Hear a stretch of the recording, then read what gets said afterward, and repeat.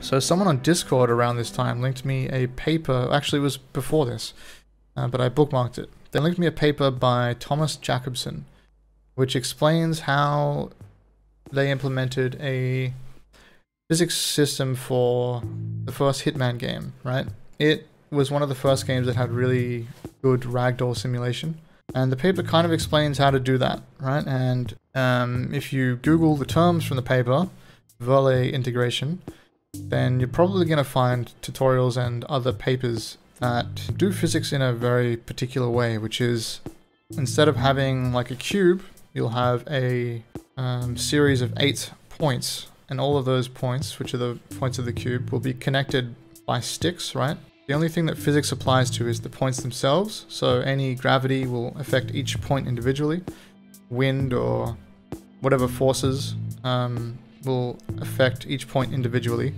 And then the sticks are there to make sure that the points stay kind of at the right length. So, well, I'll put it on the screen, but uh, you can make a cube out of only a few of these uh, sticks and points. But um, that's, I found out later, that's not actually what Verlet integration is. I think that's a misunderstanding that a lot of people have just because of the current literature. Anyway, that's kind of beside the point. So I after a while, you know, I was using this Verlet integration, but in 3D I was getting tons of weird errors, and I found out they're not actually errors. Um, it's just kind of how the system works, and if you want to get something like the physics in Hitman, you still need to implement a rigid body system, and then use that in conjunction with the particle and stick system. So, I started reading a bunch of academic papers about physics, but because my high school math is well, my math is not even at high school level, actually. I was having a hard time reading the formulas. Uh, luckily, a lot of the papers actually explain the formulas at the beginning or the terms that they're using. Um, and if you read the papers slowly, you can kind of understand most of, at least the ones that I read, you can understand them just by reading them from beginning to end. I think we're used to, um, in the age of the internet, we're used to skimming things, just finding a little bit that we need. But with papers, they seem to be a lot more dense. Um, so it's probably worth your time actually reading from the beginning if you find yourself reading papers and having this same issue. Anyway, so during this period of reading papers on my Kindle before bed, I started getting some more issues with data corruption with the physics engine. So, of course, instead of figuring out the problem, I switched my programming language again, and then this time rewrote everything again in Zig again. So this is, I think, the second time I went to Zig. So what did we do? C, Zig, my own programming language, C, Zig, and well, now I'm back in C. So of course, at that point, I knew in the back of my mind that I was using Zig not because it's an excellent language and would be the best tool for the job, even though it, it is a really nice language and it might be the best tool for the job.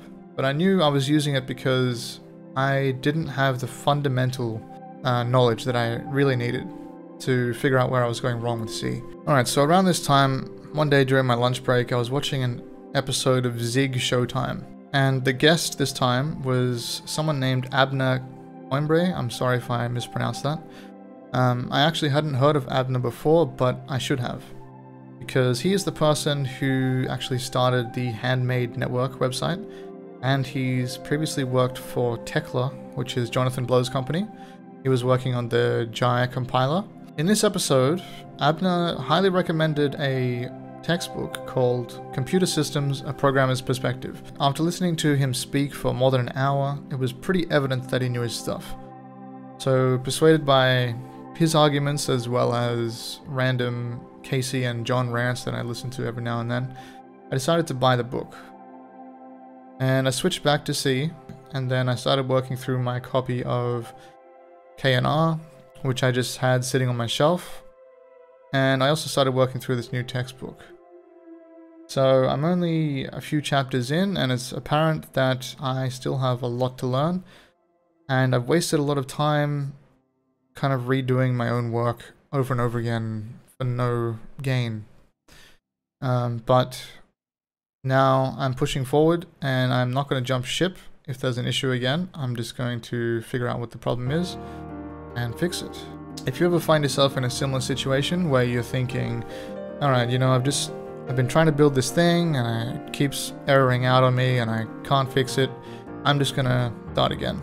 You know, I'm not against starting again if you really need to, but as you can see, I've just spent five months starting again and changing programming languages five times. And yeah, I know a bit more than I did at the beginning, but I think it would have been better if I just didn't switch and I just took the time to learn the fundamentals and figure out what was actually going on. So, I guess the message is don't waste your time by thinking that, you know, it has to be perfect. Of course, data corruption, you can't really put up with that. You can't just leave it in your game. Um, but I guess just stick with the thing that you're doing, try and fix the problems, and if you can't come up with a solution, study the fundamentals, because once you get even a little bit more of an understanding, then it's going to become clear what the problems could be. Whereas when you don't understand those base layers that you're working on top of at all, it's just a mystery. You know, it's just everything is fog and you don't know what the problem could be. You don't even have any idea. There's a set of zero problems that could be the issue. So that's my message. Um, hope it helped, and I'll see you soon.